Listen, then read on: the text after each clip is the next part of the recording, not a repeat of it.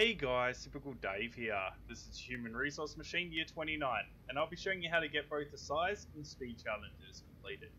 In this one, the challenges are use 5 or fewer commands and complete in 25 or fewer steps. What we have to do in this one is grab a number from the inbox and then find the corresponding letter. So in this case, 2 would be an A, and we've got to outbox the A. We've got to do this for every letter. So, inbox, we're going to write the number down. So we'll just write it over the top of this A because we don't need it. And then we're going to copy from the location that's here.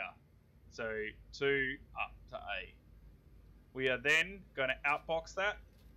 And once we've done that, we're going to jump up and do this over and over again for every single letter.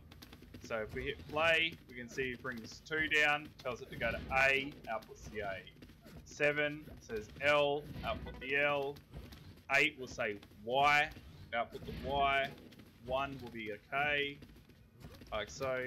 And the 9 should be a J. And there we are. We are done. So it's that simple. We're just waiting for it to go through now.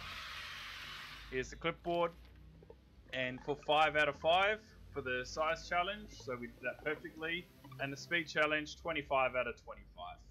Hope you found this walkthrough helpful, and thank you for watching.